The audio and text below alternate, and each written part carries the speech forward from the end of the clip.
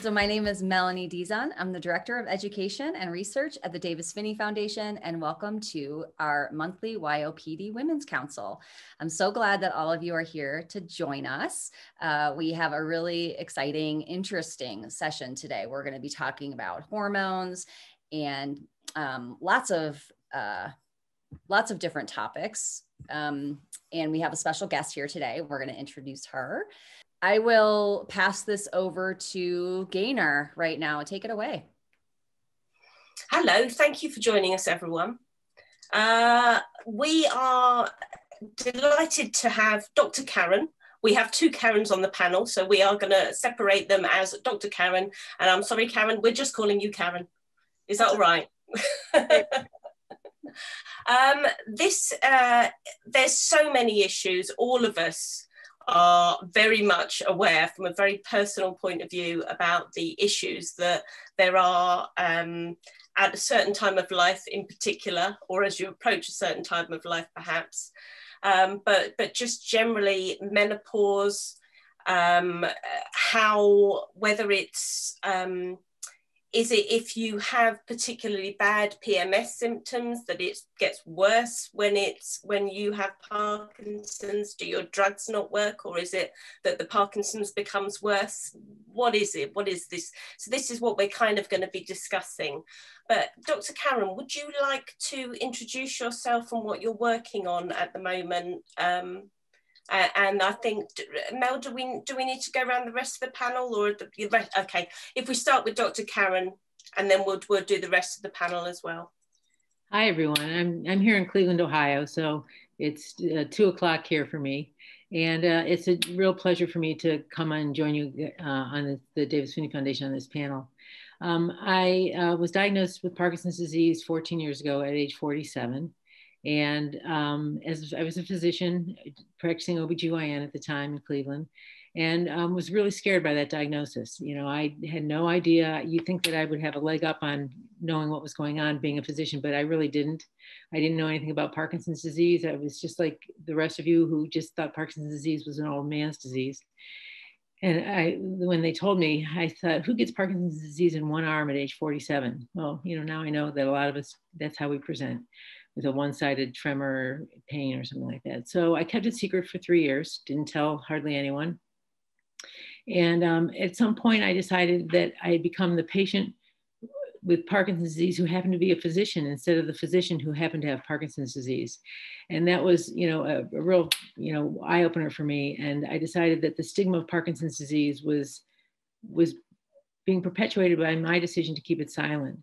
Um, I, seeing that if I kept my disease silent, then nobody would know I had it. But if if I waited until I couldn't hide it anymore, then when I tell people, I would be the instant Parkinson's patient who was symptomatic instead of the person who worked well and for many years as a surgeon um, with my disease um, in my treatments. Um, eventually, I did feel like it was I was having to take more medication just to work.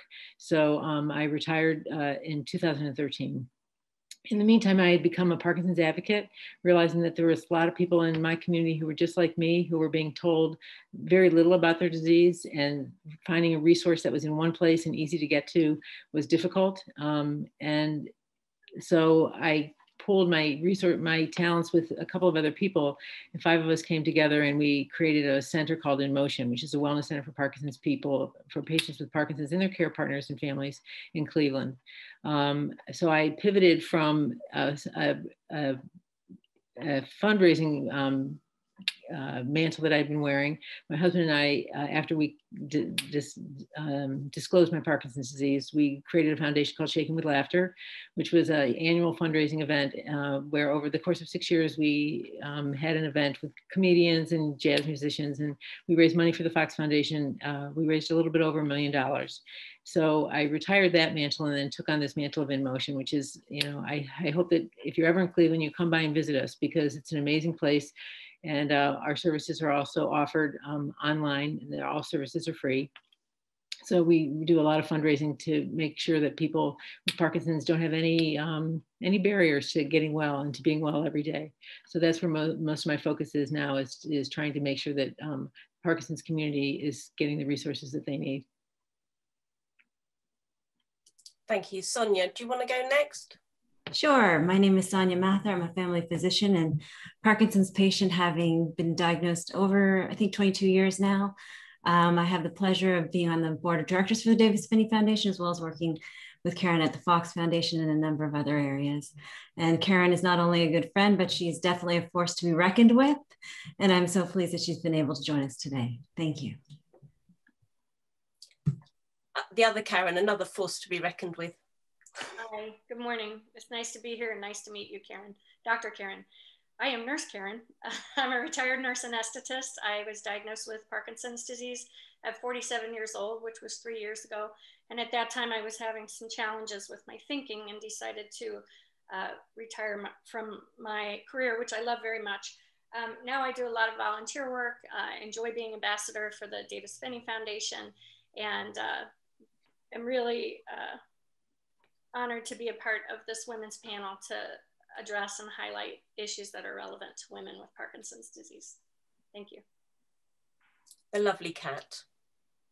Hi, everybody. Um, I'm Kat Hill. I'm from Portland, Oregon. Um, I too was diagnosed in my um, 40s at 48. I was a uh, the director of a busy midwifery service in an inner city hospital in Portland, and I too left my career. Um, like Karen, I was having trouble multitasking with multiple patients, and um, I have now shifted gears in Act Two to be an advocate and a writer and a Davis Phinney ambassador, and um, am trying to centralize a little bit of information for women in a women's Parkinson's project online, um, an international blog that we're trying to get launched here. And I'm really honored to be a part of this panel. So thanks for having me. Lovely. I'm Gaynor. I was diagnosed at 42. Uh, I then launched a charity called Spotlight YOPD in the UK, and I'm delighted to be uh, involved with the Davis Phinney Foundation uh, as a guest panelist, or no, I'm a regular panelist, aren't I? But guest because I'm from the other side of the ocean or whatever. Um, anyway, Kat, do us, do us, how's your English accent coming along just really quickly? Because you like to do a hello, love. Hello, love. You Very good. Good work. It's coming along nicely. I'm pleased with that. Thank you. They'll let you in soon without, you know, yeah, passport. Well, naturally, will anyone be allowed in anywhere, anywhere? Let's let's move on from that. um, so when, from my personal experience, very soon I realised the the worst time of my Parkinson's month was time of the month, and it was kind of time of the month and then some. Um, and I tried desperately for years to get any kind of information, any kind of advice on this. You know, is there a gynecologist out there that understands Parkinson's, specifically YOPD? Um, Dr. Karen is absolutely right when she says, you know, the understanding, you know, no one thinks, you think this is an old man's disease, I shouldn't have this. So the likelihood of anyone having too much information on on periods, menstrual cycle, menopause, etc., pretty slim on the ground.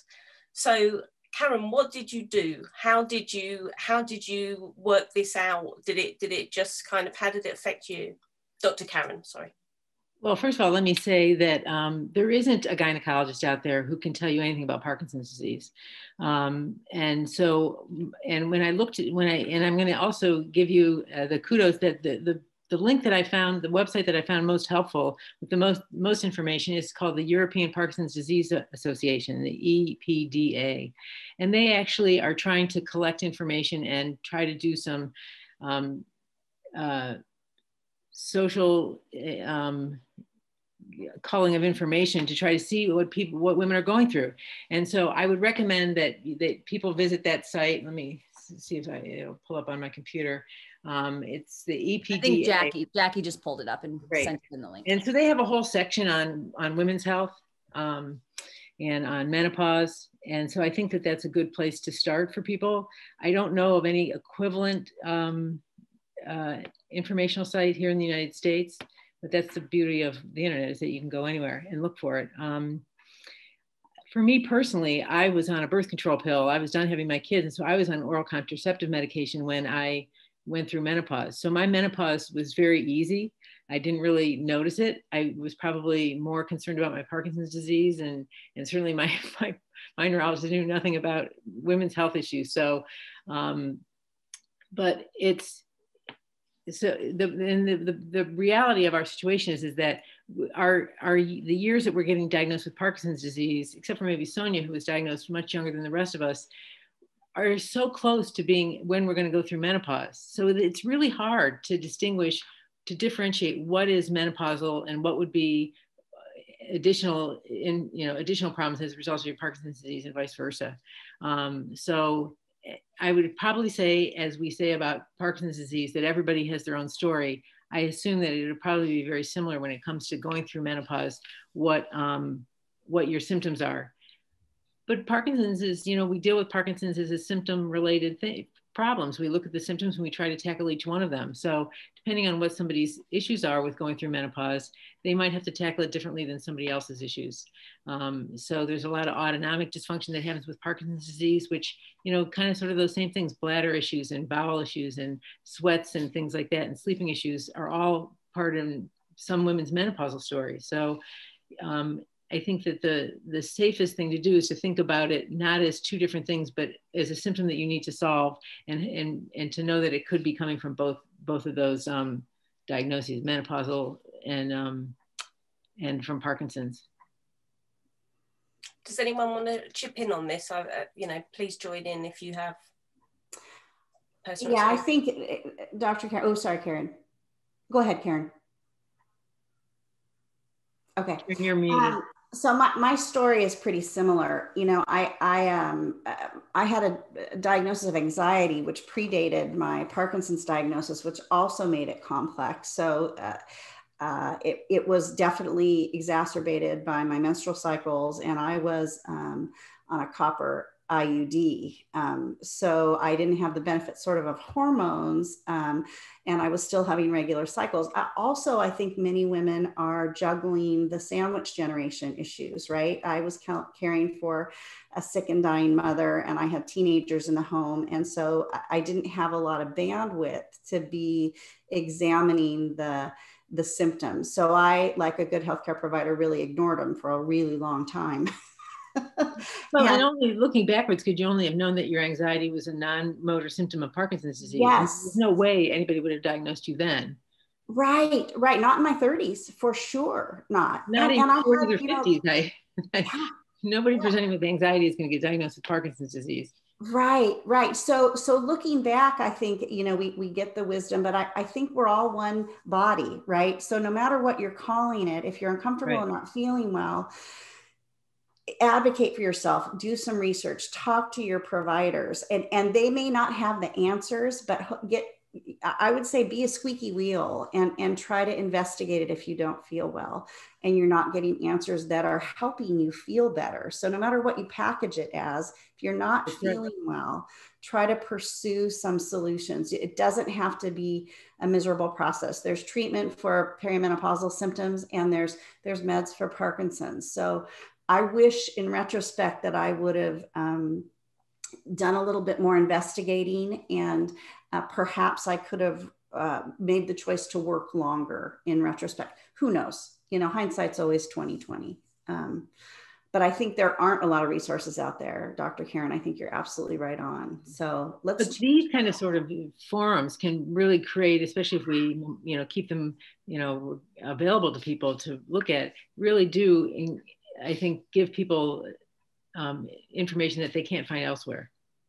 Yeah, and also permission. I think we as women uh, deny our permission to bring things up sometimes. We don't want to be complaining. And and I think we can advocate and be clear about ourselves and and be the voice to find help find solutions for ourselves too. I really want to encourage women to do that that are out there questioning where to go. That's my there was a there was a report actually that came out recently, which was um, highlighting the divide between the uh, male and female provision of healthcare. And I think people automatically think, well, women are across this. Women look after themselves, but actually they don't. Women tend to look after their, their other halves more, uh, to the uh, to the detriment of their own health often. So I mean, I, I think there's there's there's something in there which, which is what you said, Kat. You know, you you kind of as a good healthcare um, you know, as a good nurse, you kind of put your own situation, you would, wouldn't introduce that as a topic, maybe. I think there's a lot of that, but also there's something about um, the, the stigma and keeping it quiet and not maybe feeling comfortable talking to a male neurologist about, you know, women's issues perhaps, or certainly maybe that's, maybe that's an English thing, I don't know. No, I don't think that um, there's a lot of comfort level with the older male neurologists who dominate the field, of you know, still yeah. um, have and that they have a comfort level with those issues. I mean, and it's not just that. I mean, we have to deal with the whole issue of you know bladder issues and sexual intimacy issues. It's very difficult for them to, you know, when they started, I mean, many of the movement disorder specialists started their profession, those things weren't, you know, even on the table. They, I mean, so much was concentrated on motor symptoms and not, you know, premotor symptoms. So yeah, absolutely. Soania, you must. Uh, I, I think Karen had her hand up actually. Oh, sorry. Sorry, Karen. Um, yeah, I was going to say uh, midlife as a time of getting diagnosed with Parkinson's disease as a woman, I think is sort of a big confusing picture. At least it was for me. I could relate to a lot of what Dr. Karen and Kat were saying. You know, I wasn't sleeping, uh, getting up to urinate like six, seven times a night, um, which preceded and severe anxiety and some issues with depression and weight gain. And I think that I was uh, a little bit confused about what was causing what. And I would talk to one doctor about trying to figure out perimenopause. I hadn't had a period in a, while. I had been taking a birth control pill for ovarian cysts. So I, I didn't know if I was in menopause. I thought I might be perimenopausal, but being on hormones, I wasn't sure. So after my diagnosis, I actually went off the hormones and uh, went through the process of being tested to see if I was perimenopausal. And in fact, I was heading into menopause. So now, three years later, I'm on hormone replacement therapy, which has helped my sleep tremendously.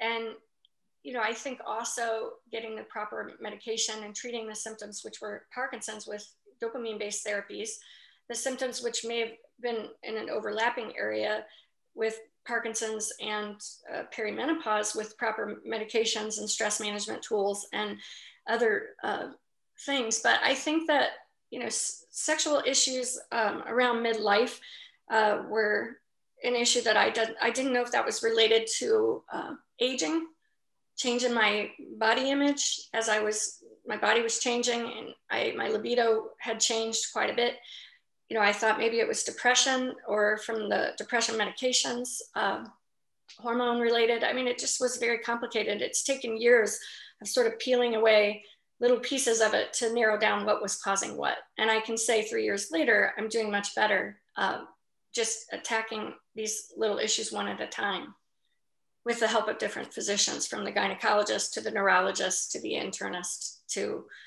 you know, my psychiatrist. It was all one big team approach, I think.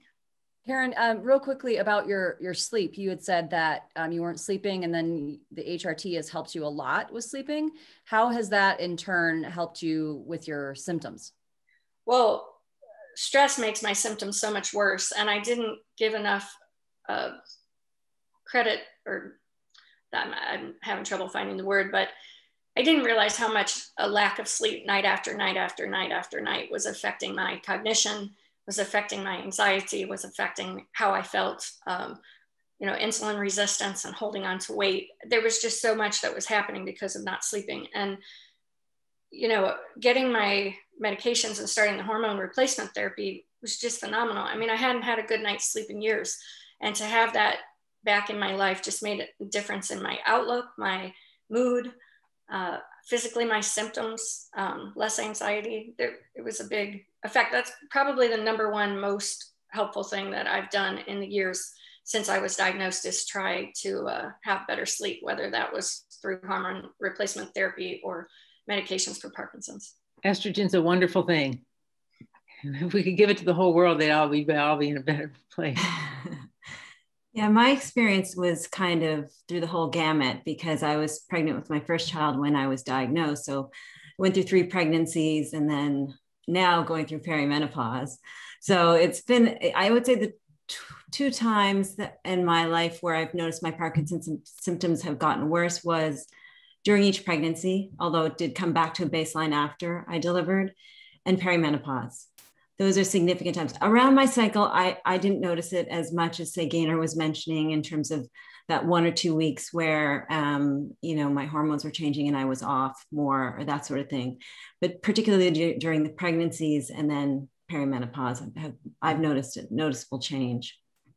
Can you can you talk a little? I know we have um, you know young young people that were your age, you know, having babies. Can you talk a little bit like what did it look like when uh, you were pregnant and it was it was bad? Well, I um each each pregnancy was different because each pregnancy happened, you know, later and later during the course of my illness. But you know, the, I think for me the issue was that I I had opted not to take many medica- much medication um, you know, I would, um, I was very limited in terms of what I could take because not a lot was known. I don't know how much is known now, and Karen, Dr. Karen could update us, but certainly at that time it was very, very different, and, and people didn't want me taking medication. So my symptoms were worse because of that each pregnancy, each delivery was different. The first time, no one paid much attention. The second time, everybody who could ever be there in the room was in the room because someone with Parkinson's was delivering. And the third time, it was back to nobody being there. So um, that was more of a reflection, I think, of people not knowing what to do with me than anything else. But um, but you know, it was it was a difficult time dealing with pregnancy symptoms as well as Parkinson's symptoms. But uh, as I said, once I delivered the baby and got back each of my daughters and got back on my medications. I didn't find myself any worse for wear. And I think that's experience of a lot of women um, as well from the, that anecdotally that I've spoken with. I wonder if there's um, there was whether there is a, a, a confirmed correlation between um, birth control though. Does that ha, has is that the thing that's compensating with making the Parkinson symptoms worse if it's just time of the month? Do we think?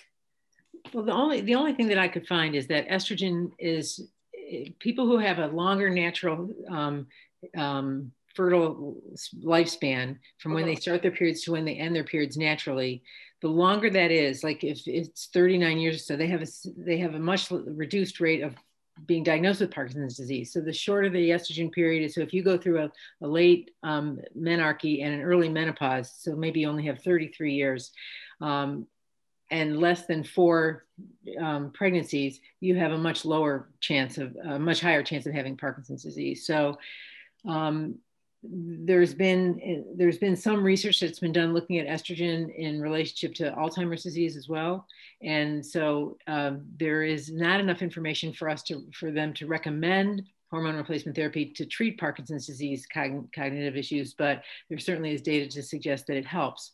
And so if somebody is having Parkinson's, if somebody has Parkinson's disease and is having menopausal symptoms that can be treated with estrogen, there would be no reason, unless they had a family history of breast cancer or something like that, not to try it because it'll probably help both things. It'll help their um, Parkinson's disease, their cognition, and and also their menopausal symptoms. Um, and so the, the question is, is how long do we leave people on hormone replacement therapy? Um, and you know, there's you know, when the Women's Health Initiative came out many years ago, there was this blanket statement to just take everybody off of it, which was ridiculous because, you know, while you might not have any symptoms, your neighbor might. And so for us to ignore women's symptoms and, and it was, was bad. So we, we had to take the individual and say, okay, what is their risk for, for taking, when taking hormone replacement therapy? You've got a person like Karen who's um, got Parkinson's disease and she's got menopausal symptoms that are keeping her from sleeping that'll you know to be able to treat those symptoms changes her life. And so we have to be open to that. Kat? Dr karen i have a question. Is it, do you know of any research being done with patients that may have tested positive for a genetic predisposition? Is, do you think it would be worth looking at some of those women and using hrt as a as a uh, protective or a, a, preventative? I mean, is anybody doing that? Oh no, I, I don't think so. I, I, mean, that would be great if they were, um, but I, I, suspect that it would be um, uh, you'd have to have really big numbers because I think that it's not it's not going to be a perfectly you know direct effect, and how much you give somebody and how you give it to them, um, it's tough. There are risks to hormone replacement therapy. There's risks to birth control pills, um, and so we probably as a I think that the only way we're going to get that data is if we continue to collect um, you know retrospective data where people you know give their history and say I was on birth control pills for this many years, or I and to collect that. And I don't know if anybody's. I mean, somebody must have done it because I have this information about reducing risk depending on how long you've had menopause, how long you've had a fertile life cycle. There must be somebody who's collecting this data. Um, it would be certainly the Fox Insight, it would be something we could make a suggestion for them to look at some of this this information around women's health. Um, they've got all these people in the study, and so you know it's it's easy for them to call the data and and come up with some. You know, if we're asking the question, they probably could come up with some information based on um, retrospective data. Yeah, we're working on that, right, Gaynor? we are there seems to be some research out there but it the, the numbers you know you're right it's so limited yeah. the, the, numbers of people in the samples. Um, the, the first time I'd kind of heard anything about estrogen having a positive effect was there was a, a doctor's letter that I came across, you know, uh, like a agony aunt uh, uh, magazine doctor, and a woman in her 70s had written in, and she was on HRT patches, and she peeled the patch off, and a tremor began. So she put the patch, patch back on and the tremor went away. Um, and that was enough to kind of think, maybe there's something in this. And then uh, a couple of years ago, there was a, an event in England called Parkinson's Eve. Um, and I was I was uh, talking at, at, that, and there was this murmur across the audience where I said, you know, time of the month, do you find your meds don't work? And suddenly there was a you know little bit of a oh, ah, no, they don't. They don't. And that that seemed to kind of get people on that train of thought, certainly in the UK a little bit, which is kind of you know interesting. Any kind of hormone therapy is going to alter how the liver functions and and and how and what kind of transports there is between the getting um, the uh, medications around your body and stuff like that. So, you know, it could be that hormone that hormone replacement therapy or estrogen therapy, birth control pills, change the metabolism of of a carbidopa levodopa. I don't know if it yeah. does or not, but it's and I've not seen anybody report that, but it certainly can affect. Drugs interact all the time, so um, it could affect you know how it gets metabolized where either your parkinson's medication is working better or or it's or it's not because of your hormone therapy so yeah sure um well, well while we're on that i'm just going to ask this question since it's related to what we were just talking about um, so uh, someone says, does Dr. Karen or other panelists have an opinion or experience with natural progesterone cream use during perimenopause or for menopausal symptoms and its possible effects on Parkinson's. Um, anything around progesterone? Well, progesterone cream it works very well for people with menopausal symptoms, um, and um, there's not a lot of work that's done on it because they're when they're compounded by compounding pharmacies. Everybody has their own little um, recipe or whatever, but it is fairly safe to use, and it and it's surprisingly you'd think that people would you know need the estrogen. But in in when i was working many many of my patients used progesterone creams. In terms of how it how it um so it would even out their cycles it would even out their moods um and uh and they just would feel better. I don't know of any research that's been done in terms of Parkinson's disease and, and progesterone at all. Um, I haven't, I didn't see any mention of progesterone in any of the literature that I looked at. So, I mean, what this is going to take is for us to, for those of us who have um, physicians who are interested, probably female physicians, is to have them, you know, have these conversations, maybe bring a panel together of, of neurologists who care about these issues and women's health, you know, advocates uh, to come and try to start brainstorming about how how hormones really do affect um, women's period, you know, this time period in their lives. There was a, there was also a report that was saying at some point about um, Soania, you might have to help me on this. I, I, I sent you. We, we had a discussion about it. If you uh, use estrogen at the perimenopausal stage, it, it has neuroprotective qualities. There, there was, was some, yeah, there was okay. some some reports that um, the timing of the hormone replacement was important as well. That if it was taken within the first five years of menopause, that it had a greater protective effect compared to if it was taken after that time period. Yeah. But I can't remember the exact study. I'd have to look that up. Yeah and, and again, you know, we don't know how these studies are. They're just such small samples. I was just going to say, I read that, and I think their sample size was pretty small. Yes, yeah, as it is in most. Alzheimer's might might have some data. The Alzheimer's data might be um, applicable yeah. here because we're talking about neuroprotection, and right. Um, so they might have some more to look at. For the for the non non medical people amongst us.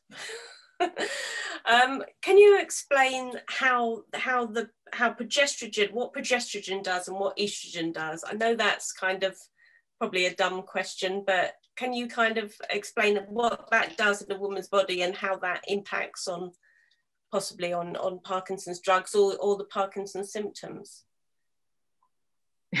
that's, a topic that you just opened up a big I know. Well, we okay. the hour talking broad, about that. Broad, let, us just talk about what what the loss of estrogen does. So, I mean, when when we lose our estrogen, we, there's plenty of tissues that are going to be missing it. Um, our skin, our bones, um, our our vaginas. You know, I mean, there's just a lot of places that need it and use it to be healthy and well. Um, so, including our brains. So, um, I think that when we lose it, it's it's it's a big loss. Progesterone, it doesn't kind of sort of create that. You need it to balance out the progesterone, especially in a situation where somebody still has a uterus, um, and too much estrogen can cause problems and linings to grow and cancers to develop and things like that. So, the progesterone doesn't carry as much of a of a role in in the good things that hormone replacement therapy brings. It kind of sort of is the balancer and makes sure that um, that it's everything is in the right uh, quantity. So uh, that, that's the short answer to a very. oh, know, that was good. Question. That was good. I, I um, does anyone here use progesterone gel or, or use no? See, I, I have found this is my own experiment and huge caveat here, not to be endorsed. All that that you know, all the warnings about um, uh, breast cancer, etc., etc. But occasionally, I do use um, estrogen gel, and it does. Oh, estrogen or progesterone? You you said progesterone. Estrogen gel. Estrogen yeah. gel. Um, I've got one here somewhere. Estrogen. Yeah.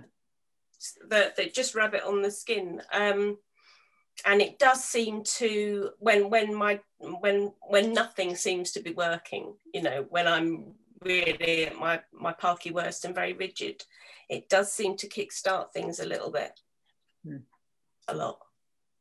And in England, can you get that over the counter?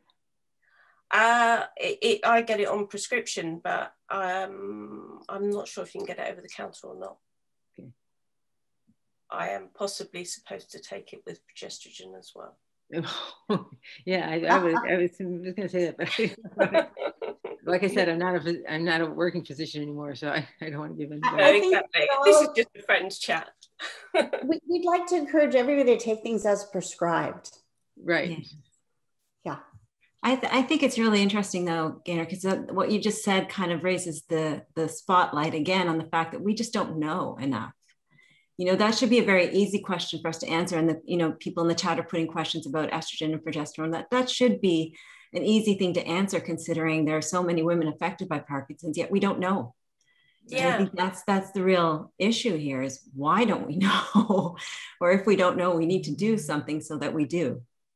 Well, that's it. And and I was just kind of told, well, look at HRT. And this was just gonna be there's your HRT without seeing, you know, what levels I had going on personally to work out, well, this is the specific mix that you need, the blend, if you like. Soania, I, I, am curious to hear from you. You've you've been at this longer than any of us. It it must be frustrating to not have more out in the literature.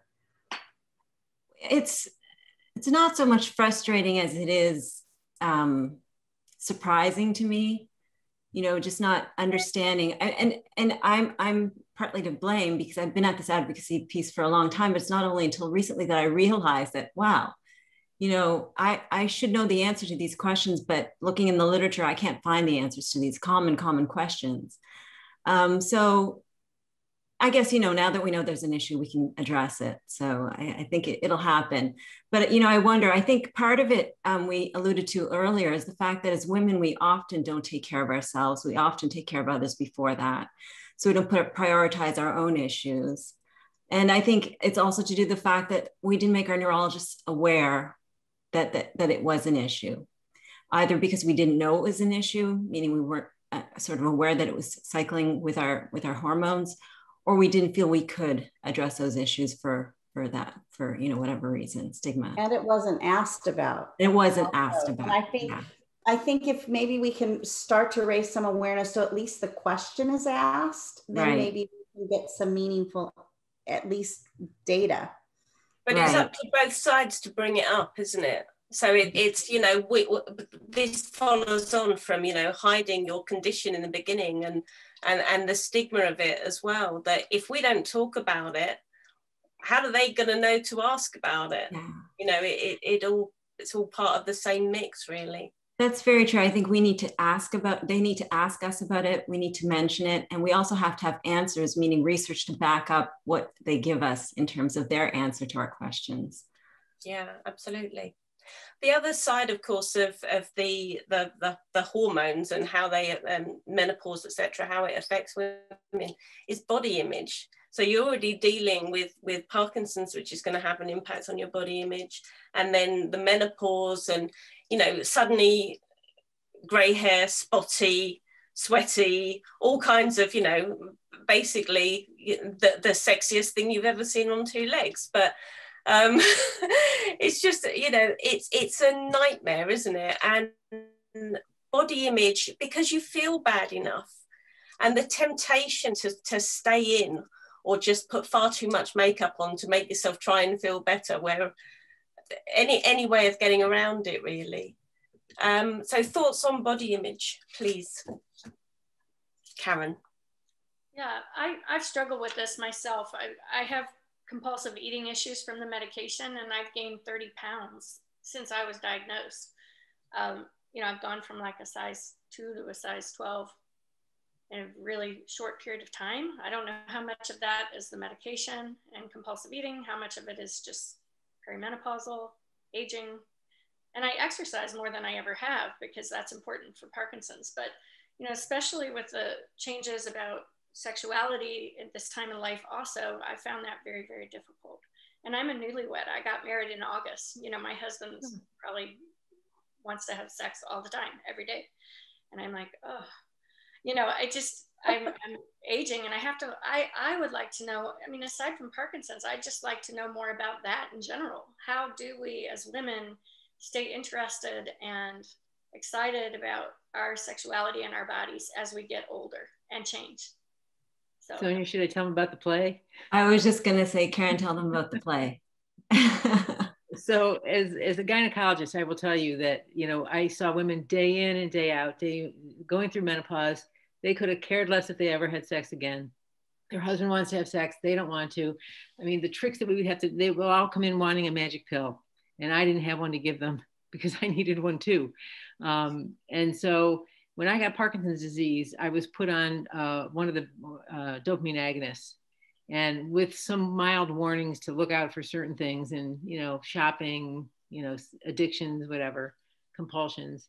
And within three months, I had a libido the size of Montana, and and I all of a sudden the tables were turned. My husband couldn't keep up with me. He had to go on he had to take yohimbe bark and maca root and nothing was working. I mean it was crazy. And it, it felt at some point it felt like a curse because you know he it, he was exhausted and he was he couldn't keep up with me. I mean i was just i mean the, the first time it happened and he said do you want to fool around? I'm like no. Yes Yes, yes, uh, yes. And it was kept being yes. And it was, so he ended up writing a play. It's called Side Effects May Include. And it was a one man show. It was on off Broadway uh, two years ago. And um, it was a lovely, lovely, lovely one man show of a, of a guy who's a stand up comedian, which my husband is, who's married to a woman who's an OBGYN.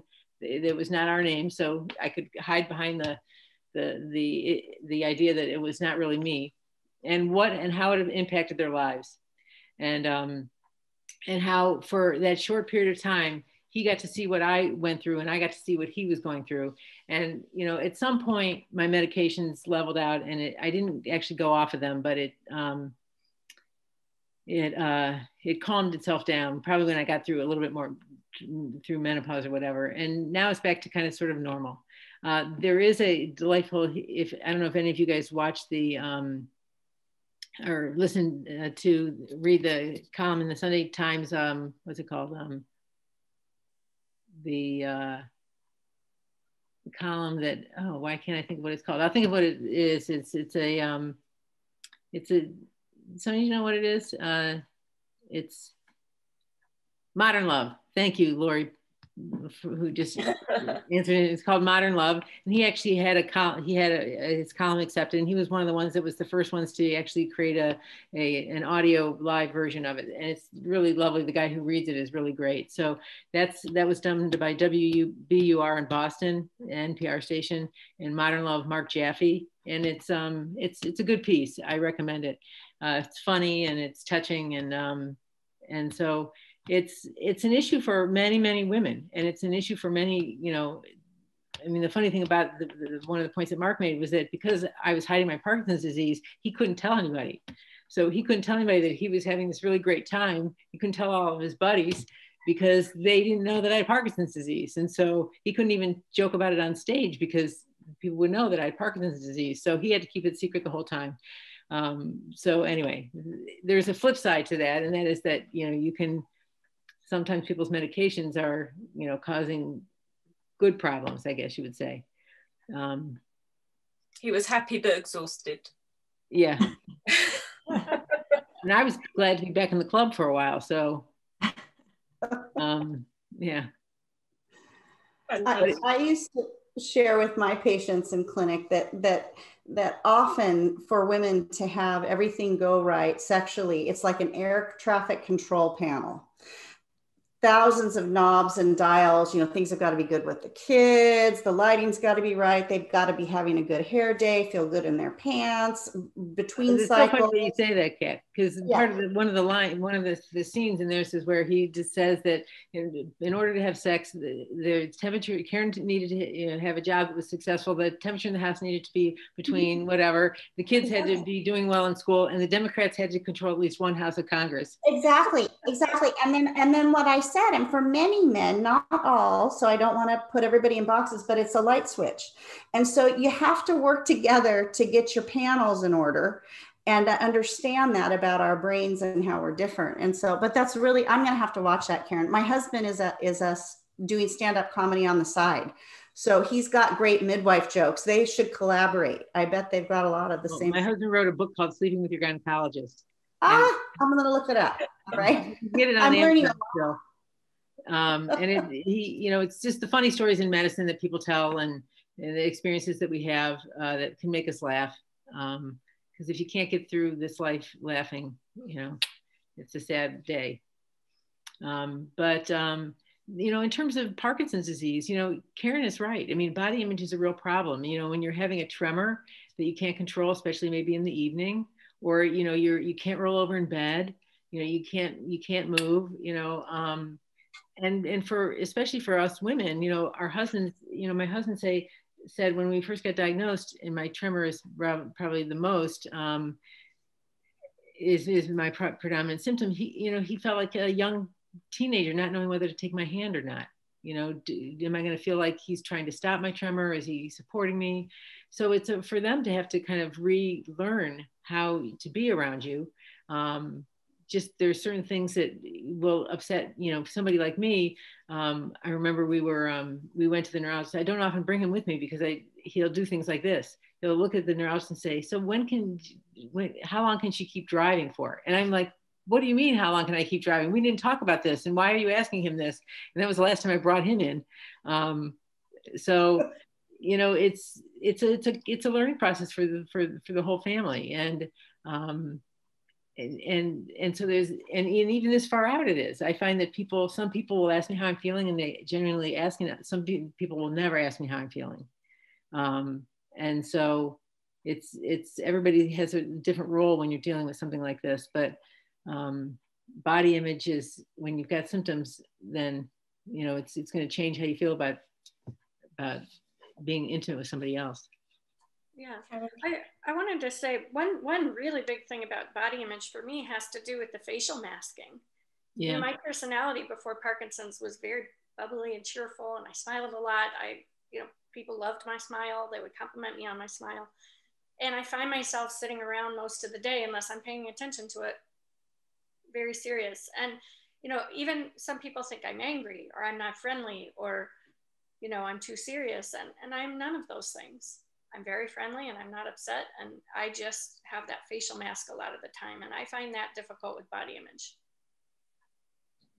Um, Karen, this was uh, somebody asked a question, and it's not about hormones and stuff, but I think it might be relevant right now. And also, you, uh, you're a newlywed, so I don't. Were you? Um, were you?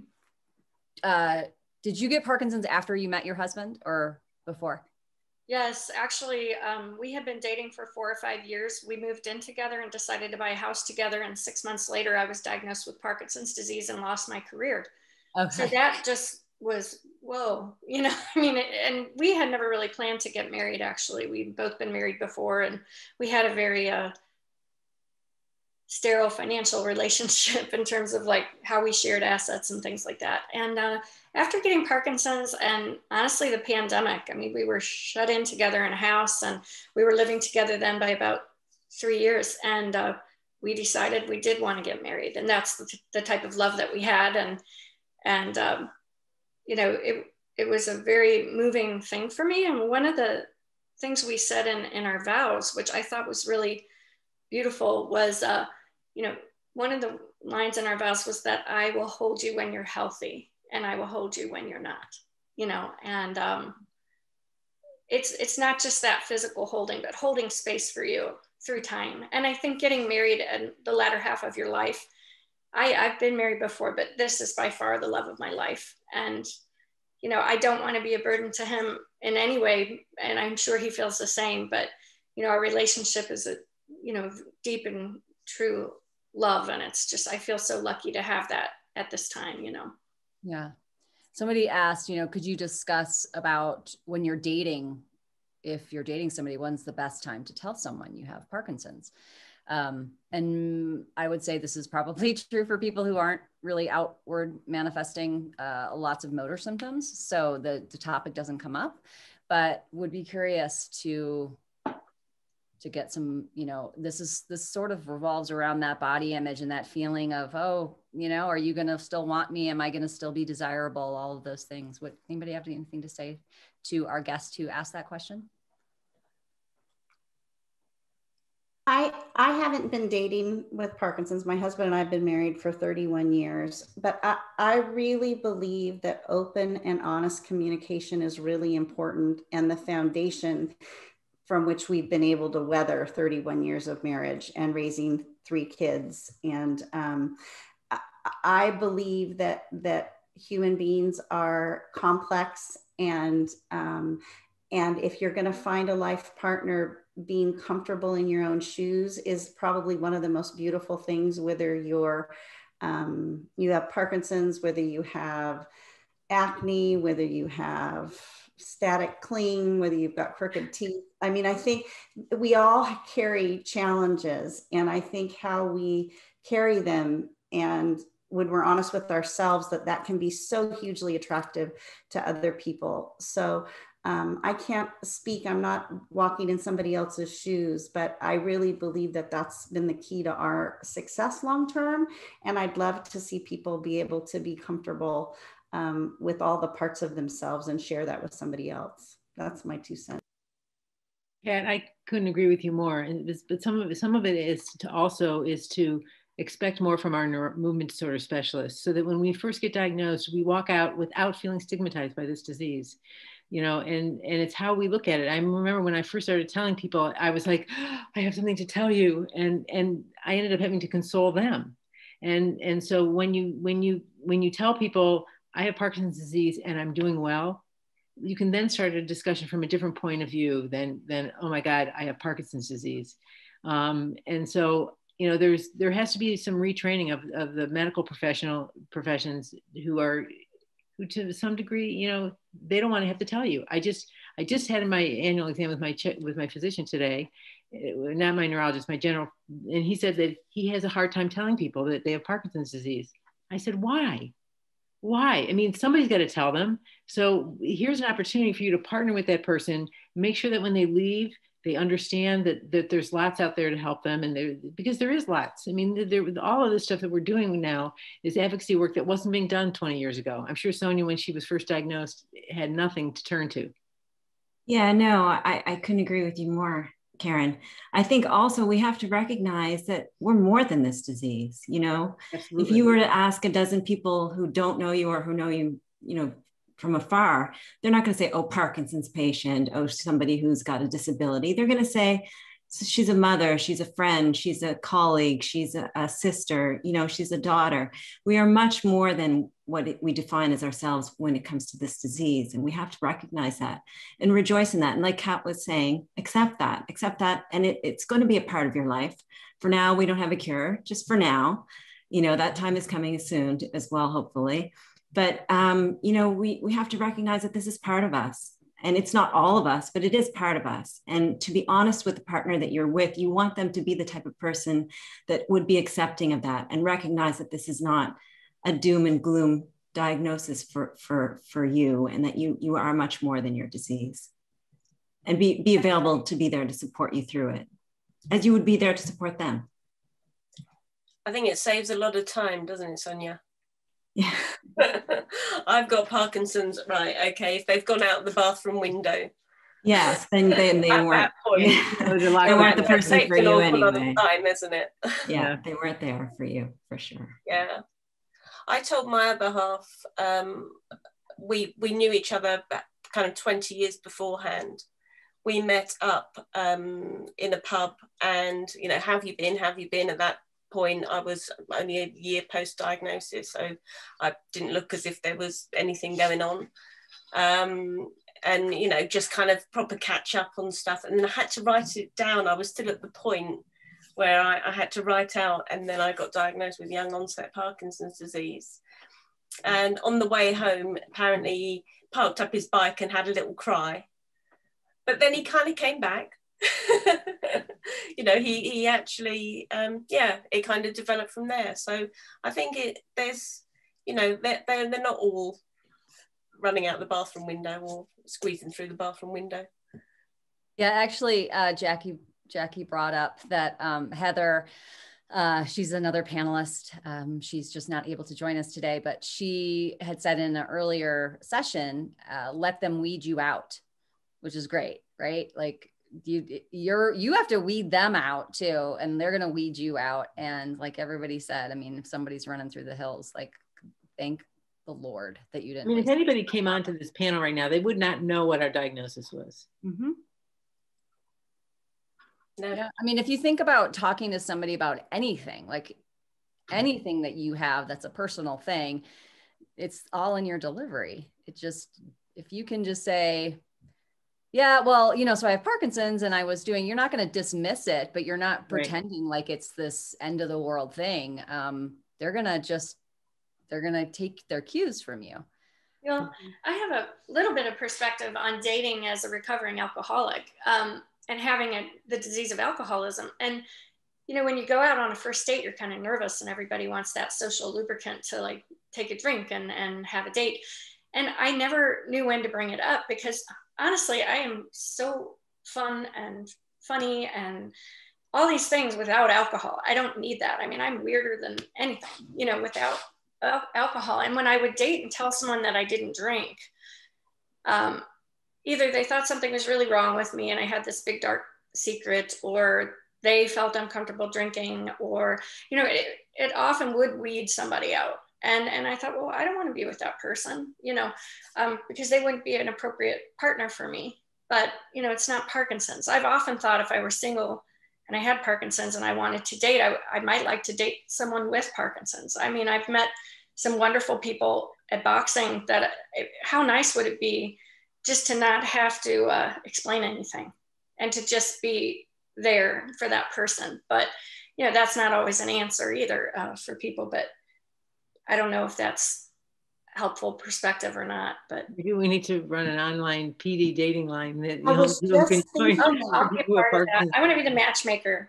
They- the farmers have it. We can have it. You know, farming dating Yeah. Parkinson's. I love it. It's not uncommon. It's there. There's quite a few that get together. Maybe it's just a, a, a dating room, a speed dating room, or a whatever, a, a, the uh, WPC. Wouldn't that be funny? Oh, that's irony parkinson's speed dating Move round, move. Hurry. I can't. I'm off. you just pretend that I like him. I'm staying. yeah, Parkland is the perfect city for that. Yeah, we haven't solved any research issues, but we're going to ha- be making a lot of. Yeah, but we we've come up with an event. I like this. Trudy says, but if you swipe left, but have dyskinesias. Right.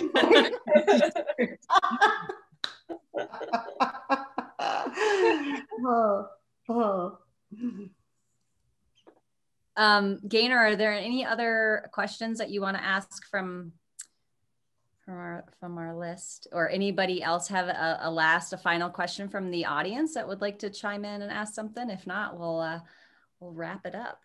I think we've covered everything on the list, Mel, unless you can. Okay. Great.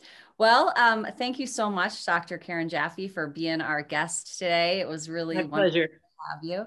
And thanks to Karen and Gaynor and Soania and Kat for being here today. Super uh, appreciative of that. We are going to be talking about contraception and pregnancy uh, next month. So if that's interesting to you, please be sure to uh, watch that. And you'll get the recording, the video, the audio, and the transcript. So thank you so much for all being here. And we look forward to seeing you next month. Bye bye.